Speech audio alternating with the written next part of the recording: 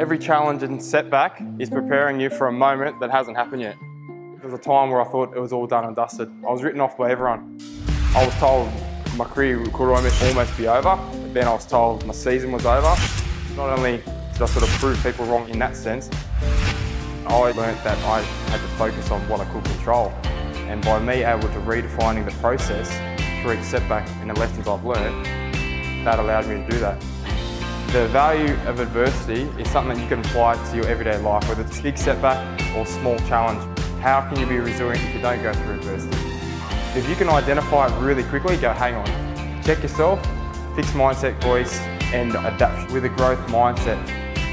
Do what you've always done, you'll get what you've always got. I'm always trying to find ways to improve myself, you know, little tools and strategies that can help overcome, you know, challenges you face or help to become the best version of yourself putting things into perspective and looking at what do I have, not what don't I have, is really important. Again, being present in the moment, not thinking about all those outside influences and the challenges and setbacks you're going through.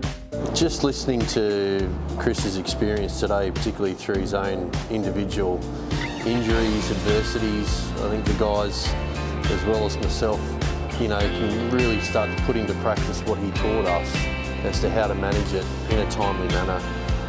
Inevitably, like sport and business, that salespeople are going to go in and out of in and out of form, and they're going to have good months and bad months. I think it gives them a mechanism for the way to cope, so that they can minimise the lulls and maximise the highs. It doesn't matter how big or small the setback is, if you can find the positive message in that, and you give meaning to that, it allows you to say, okay, well, this is going to help shape me to be a better person and allow me to grow.